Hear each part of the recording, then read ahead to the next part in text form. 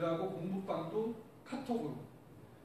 그 영어 교사들은 영어 학력 부진한 학생들을 방과후에 모아놓고 공부시켜라라는 정부의 시책이 있어요. 학력 부진 학생들.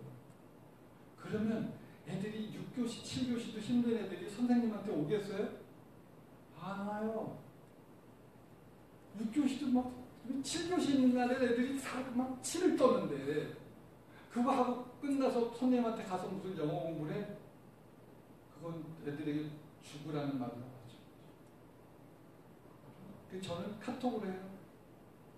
수식 이렇게 모닝톡 종례톡 모닝톡 종례톡 모닝톡 종례톡 그리고 나중에 그러면 어, 당신이 했다는 근거가 뭐가 있어? 카톡 대화 있잖아. 벌써 핑크반 하반 애들하고 한 게 A4 용지로 84쪽이에요. 방과후에 굳이 방과후에 만날 필요 시공간을 넘어서서 어, 잘 쓰는 거죠.